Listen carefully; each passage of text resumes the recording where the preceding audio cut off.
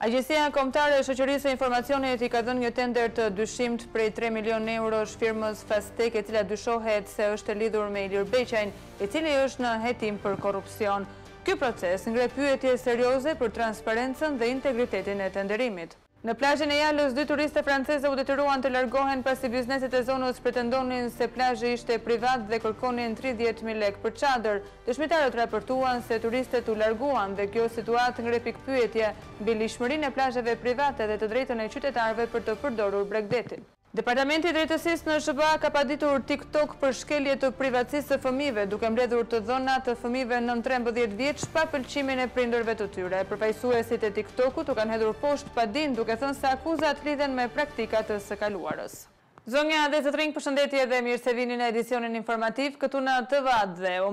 Agjencia Kombëtare e Shoqërisë së Informacionit i ka dhënë një tender të dyshimtë prej tre milionë eurosh firmës Fastech e cila dyshohet se është në pronësi të Ilir Beqajt i cili është nën hetim nga SPAK për korrupsion. Ky proces ngre pikëpyetje serioze për transparencën dhe integritetin e tenderimit. Në një zhvillim të fundit që ka ngritur shumë pikëpyetje, Agjencia Kombëtare e Shoqërisë së Informacionit e drejtuar nga Mirlinda Karçanaj, i ka dhënë një tjetër tender me vlerë tre milionë euro firmës Fastech, e cila pavarësisht se me letra ka pronar një individ të quajtur Andis Papa, sipas publikimeve në media në të vërtetë ka lidhje me Ilir Beqajn. Ky tender ka të bëjë me përmirësimin e sistemit të regjistrimit elektronik noterial, procedura mban këtë numër reference, dhe ka një fond limit prej dyqind e gjashtëdhjetë e shtatë milionë e nëntëqind mijë lekë të reja pa TVSH, që korrespondon me rreth tre pikë dy miliardë lekë të vjetra me TVSH. Duke hulumtuar dokumentacionin e tenderit, shikohet se ka marrë pjesë vetëm dy kompani, nga të cilat është shpallur fituese Fastech për një vlerë rreth tre milionë euro me TVSH. Kjo vlerë rezulton të jetë ndërkohë sa nëntëdhjetë e katër për qind e fondit limit të tenderit. Habia më e madhe qëndron në faktin se Fastech, firma fituese dyshohet se ka lidhje të ngushta me Ilir Beqajn, i cili aktualisht është nën hetim dhe i arrestuar nga SPAK për akuzën e korrupsionit. Kjo situatë ngre pikëpyetje serioze mbi procedurën e tenderimit dhe transparencën e tij. Si është e mundur që një person i arrestuar për korrupsion të fitojë një tender kaq të rëndësishëm me një vlerë kaq të madhe? Gjithashtu, një pyetje që ngrihet është se sa para ka përfituar nën dorë Mirlinda Karçanaj, për të shpallur fituese kompaninë e lidhur me Ilir Beqajn.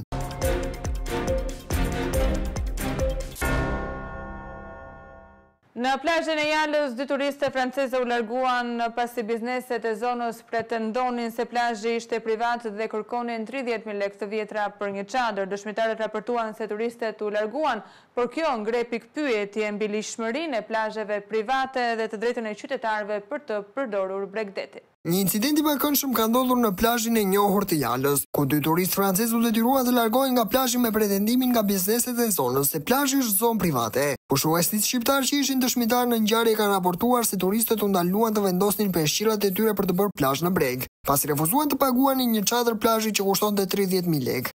Një pushues shqiptar që ndodhej në vendngjarje tha për redaksinë tonë, Hapën peshqirat për të bërë plazh dhe nuk i lejuan se duhet të merrnin çadër tridhjetë mijë lekë në qendër të Jalës. I larguan dy turistët francezë me arsyetimin se plazhi është privat.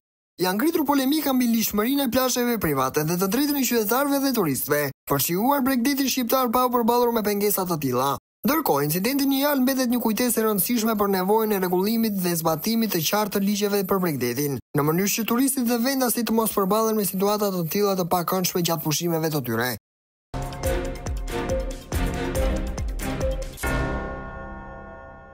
Të rinjtë po e lënë vendin për mundësi më të mira jashtë, ndërsa korrupsioni dhe pagat e ulëta po përkeqësojnë situatën ekonomike dhe sociale në vend.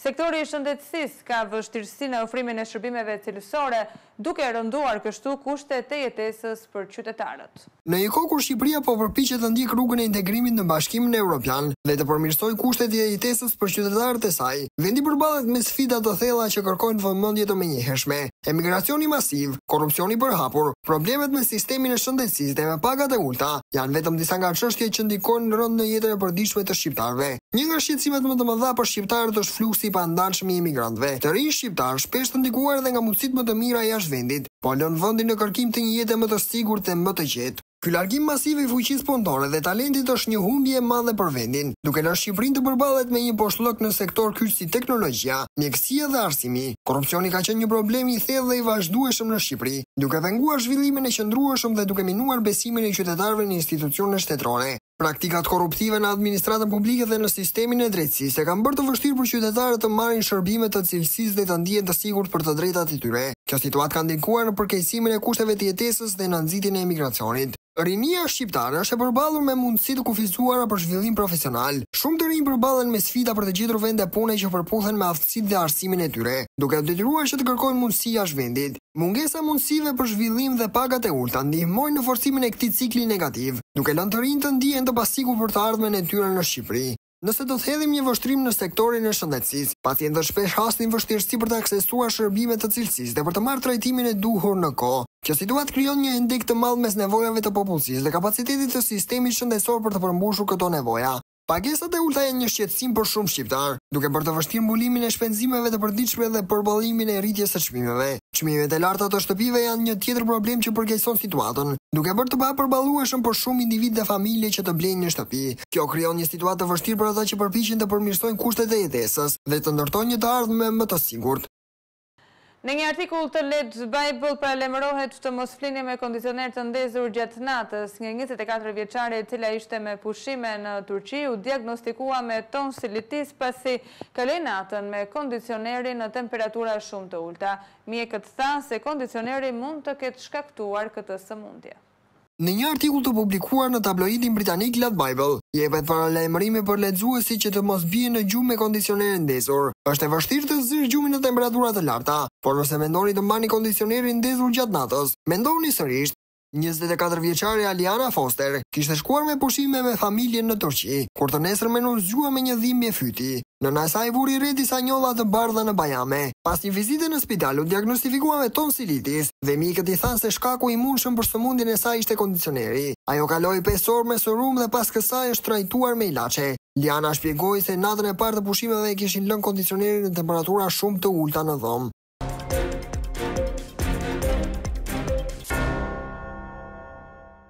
Në Venecia e vendosur rregulla të reja për menaxhimin e fluksit të turistëve duke përfshirë një kufi prej njëzet e pesë personash për grup dhe gjoba për ndalesa në vendet e ngarkuara. Qindra turistë, sidomos ata amerikanë, duhet të presin guida të specializuara dhe të shmangin bllokimet në rrugë. Krahas eksperimentit të biletës hyrëse për turistët, në Venecia janë vendosur rregulla të reja për menaxhimin e fluksit të vizitorëve. Qindra turistë të huaj, veçanërisht amerikanë, zbarkojnë herët në mëngjes në Riva degli Schiavoni. Mirëpo nga data një gusht do t'u duhet që të presin guida të specializuara që parashikojnë një kufi maksimal prej njëzet e pesë personash në grup. Gjithashtu, parashikohet të vendosen gjoba për ata që ndalojnë në vende si ura apo shkallë, ku pengojnë lëvizjen e këmbësorëve. Ditët e para të kësaj rregullore përgjithësisht janë zbatuar dhe kanë pasur pak gjoba, por temperaturat e larta kanë vështirësuar situatën për turistët, që janë detyruar të grumbullohen në zona me hije duke krijuar një bllokim të përkohshëm të trafikut.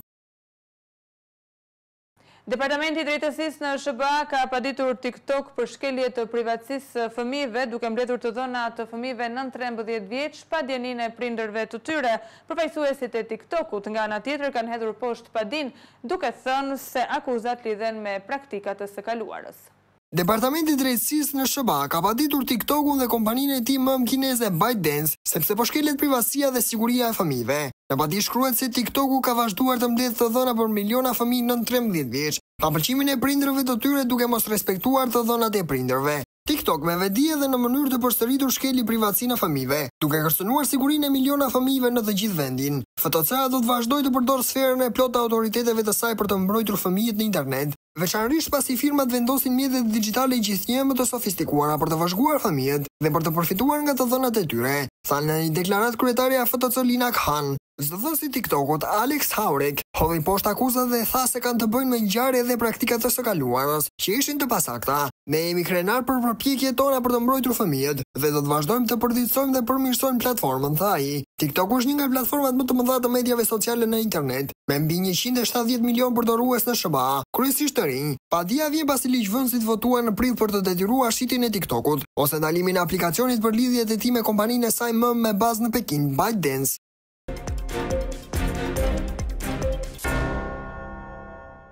Përshëndetje dhe mirë se erdhët. Përshëndetje. Atëherë na shpjegoni problemin tuaj, për çfarë bëhet fjalë, di që është një problem shëndetësor me bashkëshortin, një apel për ndihmë po. që ju kërkoni të bëni, nga cila sëmundje vuan bashkëshorti juaj? Prej një viti, që njëzet e katër qershor të vitit dy mijë e njëzet e tre, është diagnostikuar me kancer të veshkës, në veshkën e djathtë me metastaza në mushkëri, stadi katër. Mhm. Ka marrë prej një viti, është ndjekur me një imunoterapi, sepse për sëmundjen e bashkëshortit tim nuk ka një kimio të mirëfilltë, siç ka për sëmundjet e po. tjera, por kemi përdorur Sutent, por trupi i tij fitoi imunitet ndaj kësaj sëmundje. Tani në korrik mbylli 9 cikle terapie dhe arritëm pas bërjes së skanereve që sëmundja kishte avancuar dhe në vend të qëndronte, të stoponte. Trupi i tij kishte fituar imunitet ndaj terapisë dhe nuk jepte më efekte atje ku duhet, po jepte efekte të tjera anësore. Cilat janë të ardhurat tuaja? Për momentin vetëm unë punoj, jam mësuese në një shkollë private, mhm. por bashorti ka dalë në KEMP prej afro 6 muajsh. Jemi prindër të dy fëmijëve. Sa financiare që juve merrni nga shteti?